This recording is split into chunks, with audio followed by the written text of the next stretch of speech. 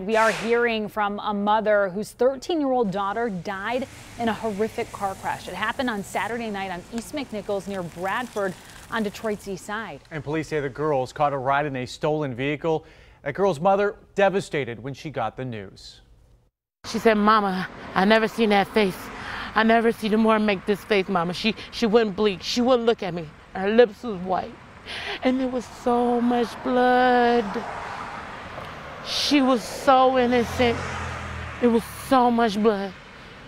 She said it was pouring out her head, Ma. My daughter started said she tried to give her CPR. A guy said, you might as well stop. Police are still searching for the driver coming up at 7 at 7 here on Action News why it's taking police so long to make an arrest.